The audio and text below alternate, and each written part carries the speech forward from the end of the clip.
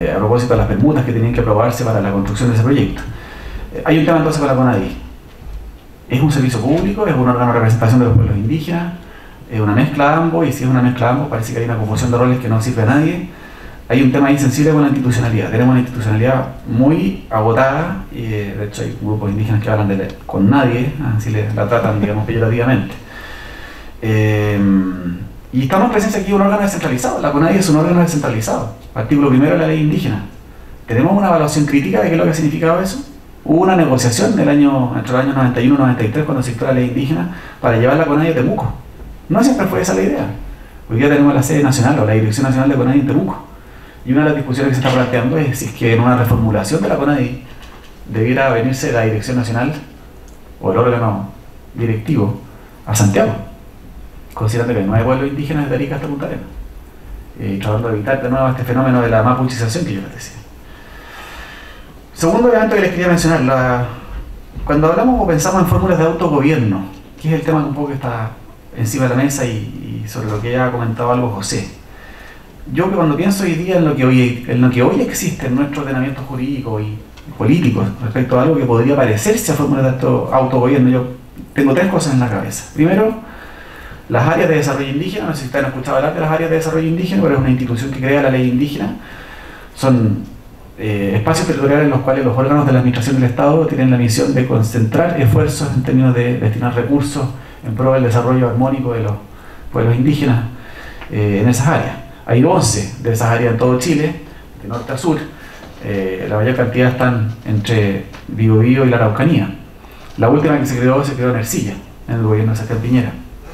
Eh, ahí hay una, algunas de esas áreas de desarrollo indígena tienen algunas fórmulas de administración que involucran la participación de pueblos indígenas. Sería interesante hacer, yo sé que hay algunos análisis críticos de las áreas de desarrollo indígena, hay una visión muy crítica de ciertos sectores de, dirigentes en el sentido de que las áreas de desarrollo indígena han sido un fracaso o no han permitido en realidad ninguna, ningún espacio realmente eh, significativo de autogobierno. Pero ahí hay un tema que me parece que sería interesante revisar. ¿Cuáles pueden ser las lecciones aprendidas de la, fórmula o una fórmula de algo que se podría parecer a una suerte de autogobierno, aunque ahí obviamente estamos hablando de áreas que, en que el gobierno es el que tiene la voz cantante. Normalmente es el intendente de la región el que encabeza las áreas de desarrollo indígena.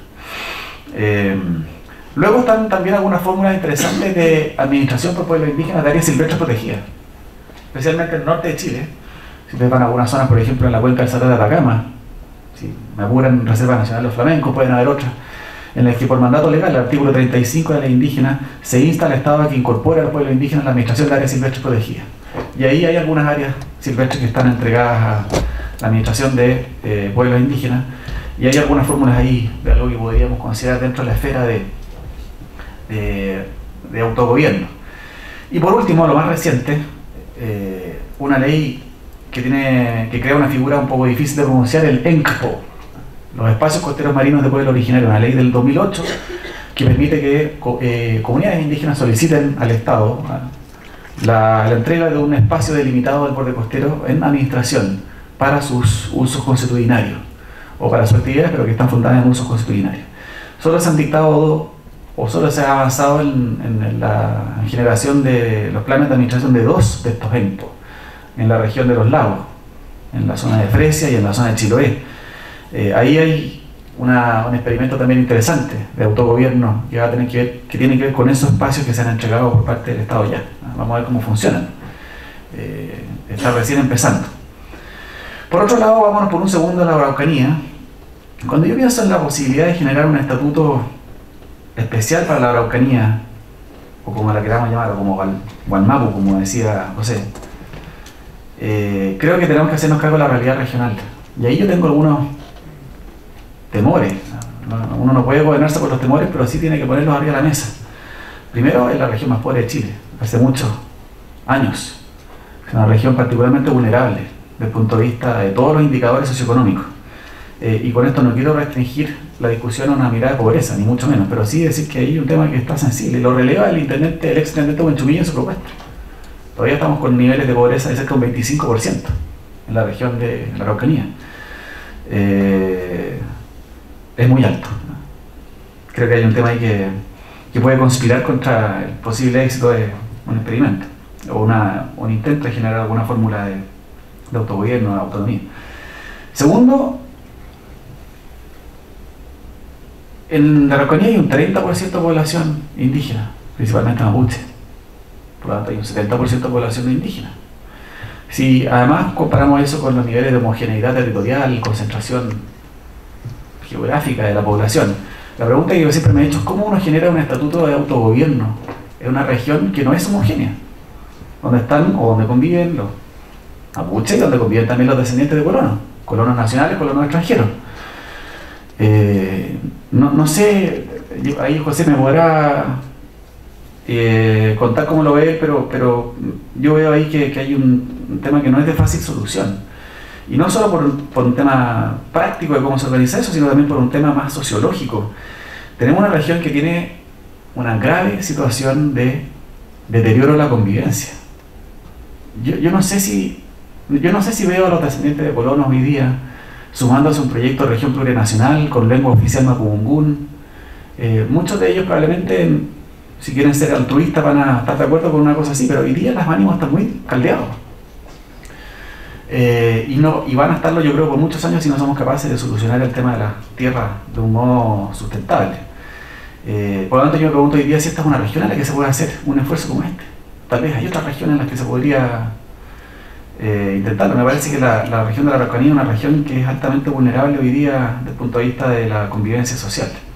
Y por otro lado sabemos que hay una gran atomización organizacional entre, los pueblos, entre el pueblo indígena.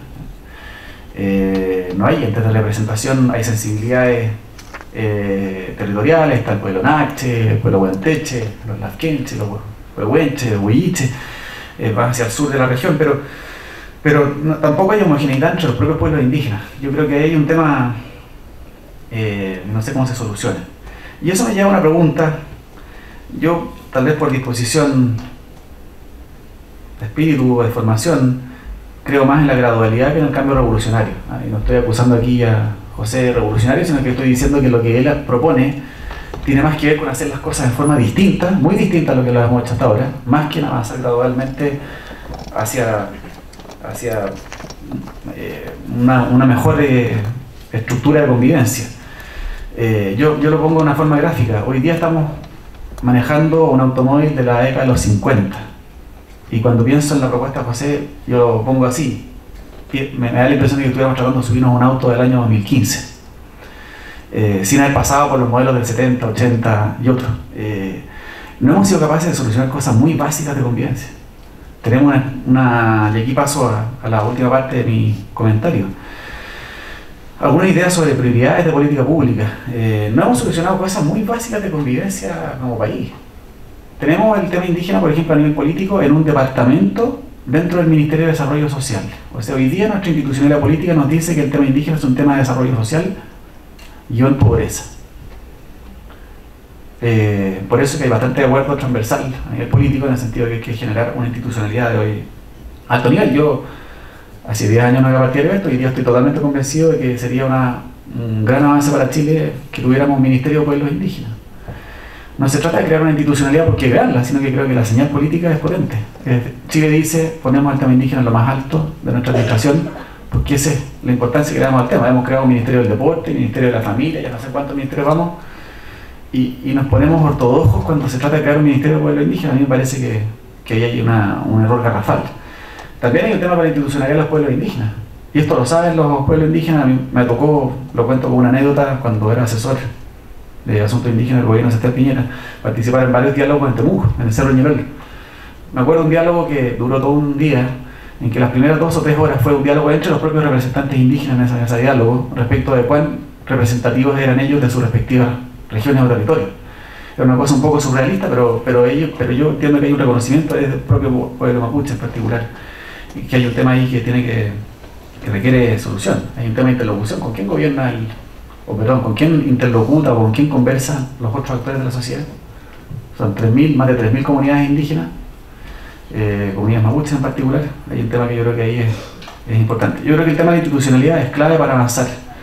Y además, y esto no se puede decir mucho públicamente porque, porque suena como no suena bien, pero hoy día creo que hay una parte del movimiento mapuche que sostiene que la vía institucional está agotada, que la institucionalidad o no existe o es insuficiente, por lo tanto, estando agotada la vía institucional, parece que no queda más remedio que recurrir a la violencia.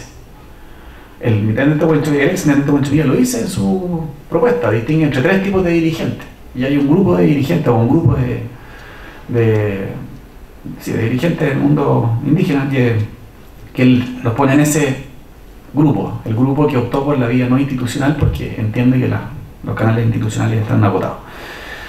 Eh, y en materia de tierras creo yo que el otro gran tema, eh, hay, hay un tema creo que, creo que nos va a acompañar por muchos años si no nos atrevemos a hacer las cosas de forma distinta. Estamos caminando sobre huevo. Mi evaluación es que la principal razón de la situación de violencia que tenemos hoy día es que tenemos un sistema de entrega de tierra que eh, genera incentivos perversos a la violencia y genera incentivos perversos a varias cosas más, a la corrupción, al clientelismo, eh, y ahí son todos responsables. ¿no? que esto no es un problema solamente del pueblo indígena, el Estado acá entre medio, los corredores de propiedad, los propios agricultores. Eh, y creo que mientras ese sistema se mantenga, probablemente la violencia se va a mantener. Y se va a mantener porque hay algunos actores que se han dado cuenta que la violencia paga. Les voy a dar un solo ejemplo. Comunidad Mapuche Fermín Manquilef, cercana al nuevo aeropuerto de Temuco, días antes de su inauguración, se tomó el aeropuerto, impidió la inauguración, se generó una negociación con el Estado, que quería obviamente que se inaugurara el aeropuerto, y después de algunos días de negociaciones obtuvo lo que quería, la entrega de tierra. Entrega de tierra por la que venía peleando por muchos años, lo que pasa es que estaba en una lista de comunidades que no era priorizada. Pero eh, la violencia funcionó. Y la pregunta es cuánto más va a ocurrir eso. Eh, y la pregunta también es cuánto más se pueden aprovechar los no indígenas de eso. Ha muchas acusaciones, por ejemplo, de agricultores que han incentivado tomas de terreno justamente para obligar a la CONADI a comprar. Entonces, esto es un tema que, que da para mucho. Tres temas más que yo comentaría muy a la pasada como temas importantes del futuro del país. Eh, hay un tema de la educación.